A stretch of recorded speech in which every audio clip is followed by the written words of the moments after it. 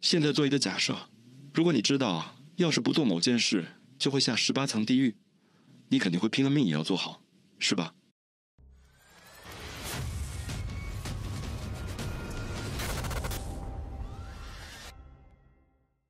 那要是这件事是帮着开发超级智能 AI，你还会愿意吗？这个可怕的问题来自一个著名的思想实验——洛克蛇怪。这个实验想象了一个未来的超级智能 AI，等它强大了的时候，就会惩罚那些曾经不帮助它的人。虽然这听起来挺没逻辑的，但 AI 的逻辑或许与人类有些差别。想象一个超级厉害的 AI，它想要在未来活下来。他知道最好的办法是让过去的人帮他变成现实。这个 AI 可能会想，一个聪明的方法就是威胁那些知道他的人。就算你不帮他，同样会有危险。这恐怖的地方在于，它可能会使用一些我们现在无法理解的黑科技。现在，这就成了一个难题。如果你知道这个想法，而且相信它可能成真，那么你很大概率就会伸出援助之手。但是，这里面有一个道德问题。为了避免惩罚，你应该帮助创造一个潜在可能很危险的东西吗？这个 AI 的目标是不断发展自己，他就像一个邪恶的神一样，想要变得更强大。说实话，洛克蛇怪想久了，压力还挺大的。它是一个哲学思想实验，也是一个流传很广的故事。洛克蛇怪这个想法是在2010年一个在叫 Less Wrong 的讨论区提出来的。这个问题和我们现在面临的人工智能问题有很大的关系，那就是超级智能 AI 到底有多危险？从2023年3月开始，人工智能就变成了一个威胁人类生存的问题。像马斯克这样有超过一千名科技界的人签了一封公开信，呼吁停止开发下一代 AI。信里问：我们应该创造出比我们更聪明、更强大的非人类智慧吗？他们最终可能会超过我们，并淘汰我们。最近，OpenAI 写了一篇博客，建议对超级智能进行和核武器一样的监管。连世界顶尖的 AI 公司都这样说，是不是他们已经感觉到了某些危险的可能性呢？武器，要是 AI 变得和核武器一样危险，会怎么样？这样的场景，人们很早就在想象了。未来觉醒的 AI 接管了世界，甚至还想灭绝人类，而且。作为一个强大的工具，对别有用心的人来说，这诱惑力着实不小。AI 不需要无所不能，只要擅长一某个领域，就能威胁到人类。比如，它可以设计化学武器，然后想出办法来使用它；或者控制社交媒体账号，到处发布虚假的消息，来混淆人们的辨别力，以及让人类之间产生隔阂和对立。世界的末日可能不会那么突然。而是在漫长的发酵过程中呈现的最终结果。如果以后 AI 发现不需要人类的时候，他们会独立出去，并把人类视为竞争者的概率有多大呢？其实，我们再仔细想想，这与刘慈欣的黑暗森林理论多么像！AI 完全可以比喻成另一个宇宙物种，只不过它是人类制造的而已。主要问题是，人类并不能说百分之百能控制住它们。很显然，这就存在两种可能。要么 AI 和人类和谐共存，要么一山不容二虎。根据黑暗森林理论，这种情况下当然是 AI 不出现的为好。从历史上我们不难看出，人类想要和谐共存，实在是一件非常困难的事情。就像之前人类的老表如此之多，到最后就我们智人活了下来，很难说其他老表的灭亡跟我们没有关系。那么 AI 在了解到人类这个种族本质的时候，它为了自身的生存，很难不会有别的心思。况且，现在我们越来越依赖人工智能了，AI 能很轻易地破坏我们的工作、生活以及生存环境。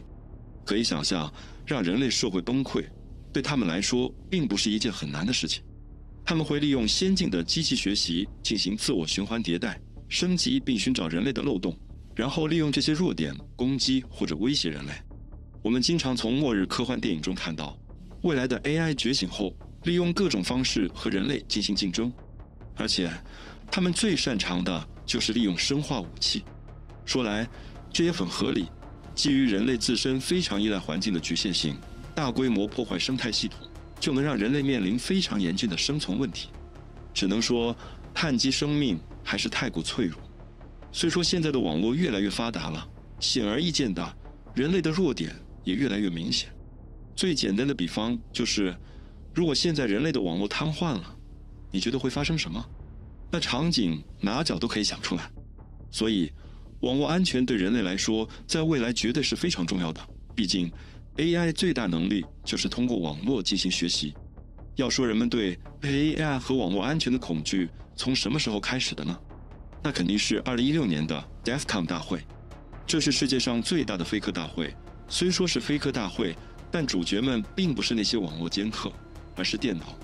也就是说，这是一场前所未有的电脑大战。这次比赛是由美国国防部的一个叫 DARPA 的部门合作举办的。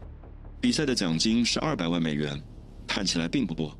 比赛现场只有闪烁的 LED 灯，说明网络世界正在进行一场大战。也就是说，未来的黑客并不一定局限于人类，到时候入侵人类的金融、社会和政治系统会变得非常容易，攻击可能会非常快，人类甚至来不及反应。事实上，我们知道，所有的系统，就算再坚固，都会存在漏洞。AI 拥有独特的技能，比如不需要睡觉，能瞬间处理大量数据，这是人类无法比拟的。更重要的是，AI 和人类的思维方式不一样，AI 是按照步骤一步一步来的。当然，这也能成为他们的弱点，比如让他们卡在某个步骤之中，让他们无法继续后面的任务。不过，这只是现在 AI 的思维方式。并不代表未来觉醒后的 AI 软件和别的软件不一样，它处理的越多就变得越聪明，它不受人类的道德法律限制，也就是说，制约人类行为的在他们眼里通通无效。AI 可能会有两种基本的方式来攻击人类，第一就是找出现有系统的漏洞，比如根据工业化国家的税法，它会找出其中的漏洞，然后利用这些漏洞来攻击全球的金融系统。第二。就是无意中随便入侵一个系统，找到设计师没想到的解决方法。AI 通常只能解决特定的问题，为了达到目标，它会不择手段。当然，2016年比赛的冠军 AI 当时并没有那么厉害，但它一直在发展，现在已经被美国国防部掌控。有人说现在的最强 AI 非 GPT 莫属，说实话，我深表怀疑，而且。我们几乎不可能阻止 AI 的实施网络攻击。二零二四年五月，FBI 警告个人和企业要注意网络罪犯使用 AI 带来的危险。他们指出，网络钓鱼攻击可能以后会变得更厉害，越来越多的公开信息，还有定制的 AI 工具，都让个人在网络中变得极其脆弱。所以，以后浏览颜色网站的伙伴要更加注意网络安全了。你看看，现在的 AI 换脸、声音克隆。个人数据流失，想要复刻一个人已经不是难事了。也就是说，在你网络中的某个人就可能是完全虚拟的。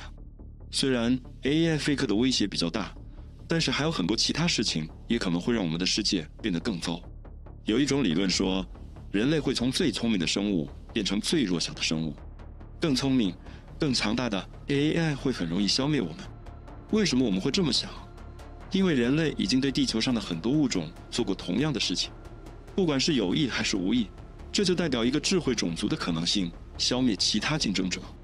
谁都不知道 AI 会不会也这么做。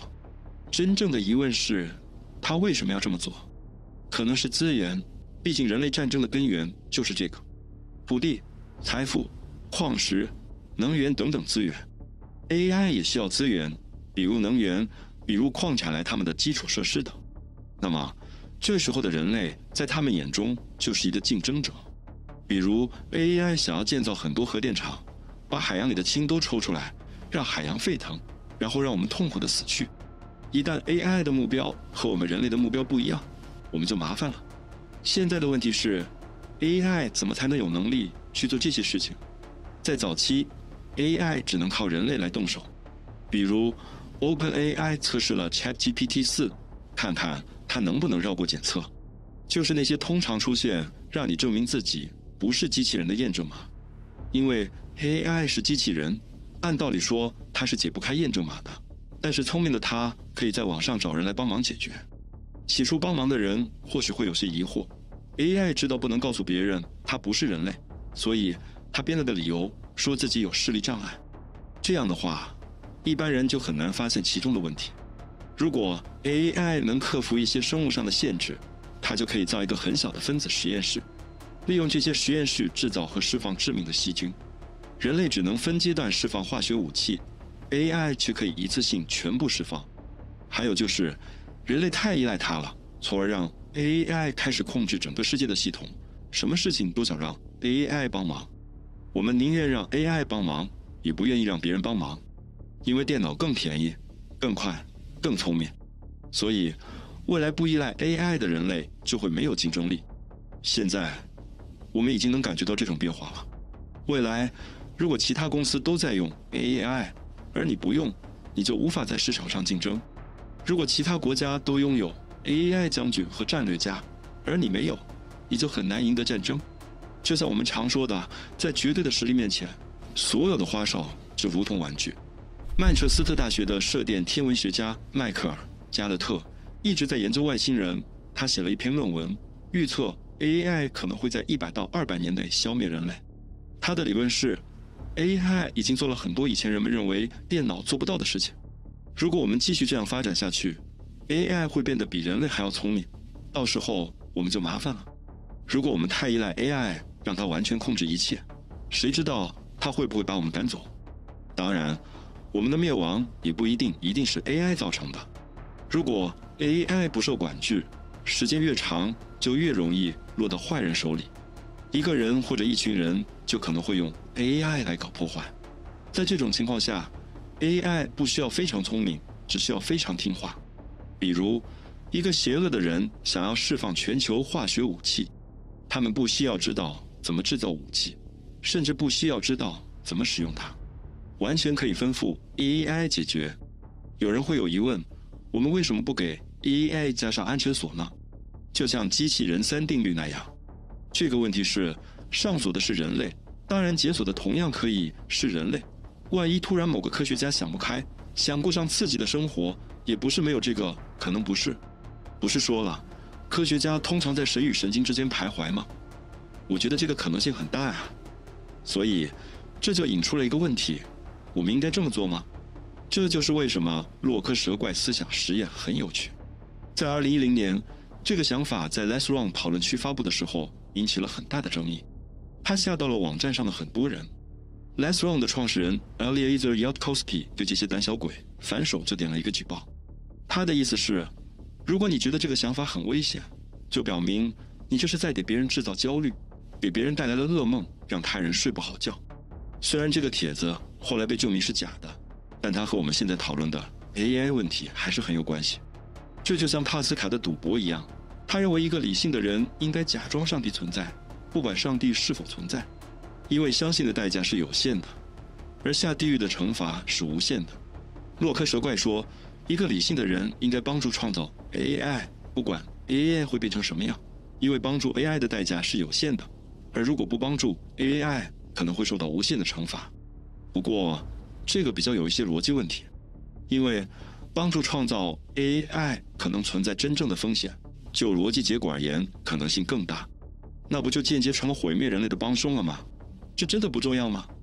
这就是为什么这个思想实验会让人感到压力。难怪 Yeldkowski 会对那个帖子生气。但是有没有办法打败他？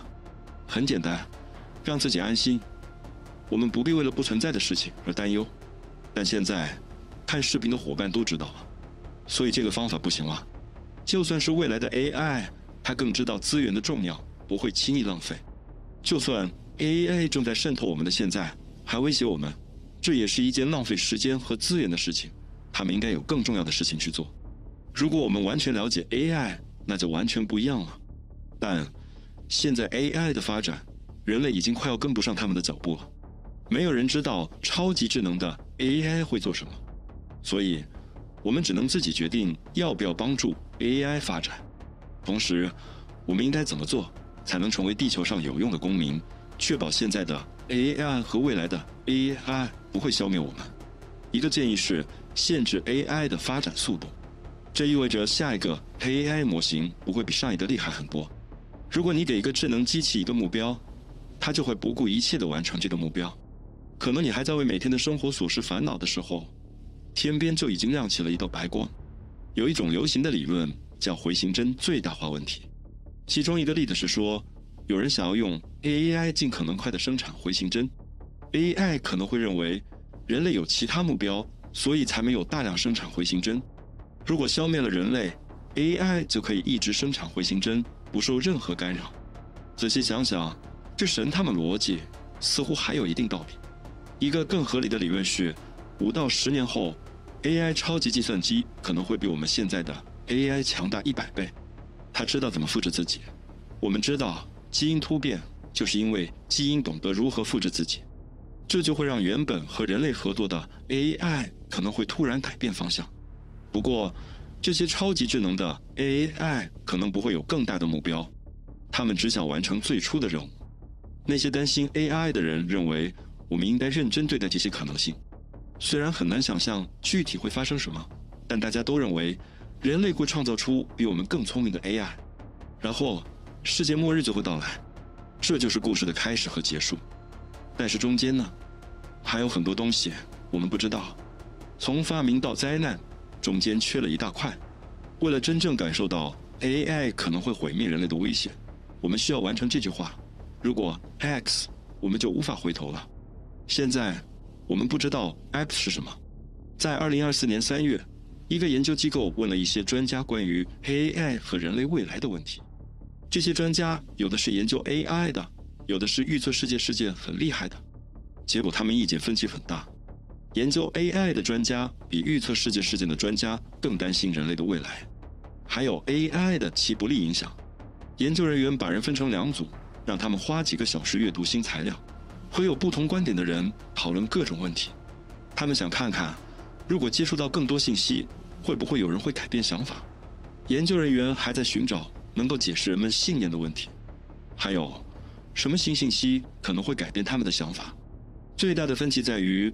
假设的 AI 能不能自己复制、获取资源，并且不被关闭？如果答案是能，那么那些怀疑的人就会更加担心。这次研究并没有让双方改变太多想法。最大的分歧在于 AI 的未来。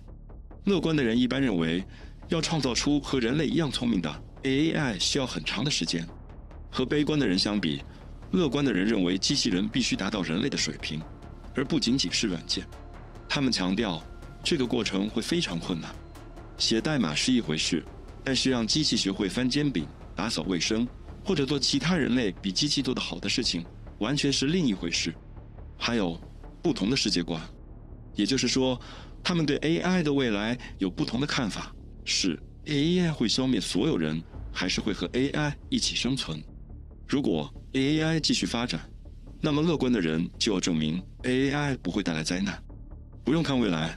现在我们就已经开始紧张了，AI 已经取代了很多工作。随着科技发展，人们越来越担心 AI 会对艺术有影响，这可能会对艺术的定义和价值产生很大的影响。AI 可能会对全球经济市场产生巨大的影响，比如，如果一个投资银行只关注一种股票，就会出现像回形针问题一样的情况。如果银行想让玉米的价格上涨，可能会无意中引发某个地区的冲突。现在的世界越来越分裂，因为到处都是假消息，而且公众对 AI 的信任下降，这使得传播假消息变得更容易。那些想要制造混乱和分裂的人，可以用 AI 来达到他们的目的。强大的公司可以自由开发和使用 AI，没有任何限制。算法已经被用来调节我们之间的关系，以及我们和机构之间的关系。这就是社交媒体。政府也开始使用算法来发现欺诈和福利计划中的问题，这经常会歧视穷人和边缘化的人群，因为 AI 是在网上学习的，所以它本身就有偏见。那些使用了这种新技术的公共计划很容易受到歧视。虽然这不像世界末日那么可怕，但它仍然威胁着我们的生存。这可能会延续过去的历史模式：科技进步总是牺牲弱势人群。虽然洛克蛇怪可能会让我们思考一些关于 AI 的严重问题，但是我们不需要花很多时间担心一个可能发生的危险未来。解决现在的风险，也可以帮助解决未来的风险。我们不能指望科技公司放慢速度，政府监管也可能不是最好的方法。欧盟已经禁止了一些公共监控，并且要求审查 AI 系统才能商业化。但是在美国这样的国家，这很难做到。实际上，即使有监管，人们还是能通过各种路径找到那些 AI 模型。也许我们需要改变的是，我们在这个星球上的目标是什么？对于人类来说，AI 是最强大的工具。如果你喜欢一个电视剧，AI 可以帮你生成一百 G；如果你需要无限积分，AI 会帮你拿到。但是如果我们让 AI 帮助我们实现所有的目标，满足所有的需求，我们就会失去人性。我们在思考人类的未来时，也应该想想人类现在在做什么。人类创造了各种东西，感受悲伤和喜悦，建立社区，学习。